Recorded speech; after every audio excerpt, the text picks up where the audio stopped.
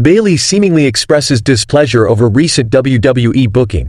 Former WWE Women's Champion Bayley has seemingly expressed displeasure over her booking.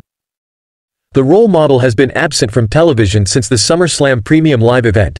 The 35-year-old defeated her former stablemate, IYO Sky, at WrestleMania XL to win the Women's Championship.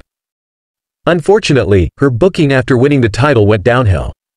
She was not a part of any significant feud or storyline since Damage CTRL got drafted to Raw.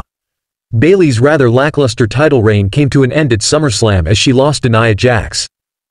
The champion put forth an impressive fight against the Queen of the Ring. However, interference from Tiffany Stratton sealed the deal for the challenger. The former Damage CTRL member recently took to her ex-Twitter account to post a graphic image of a quote from podcaster Jay Shetty to seemingly share her honest take on her recent WWE run.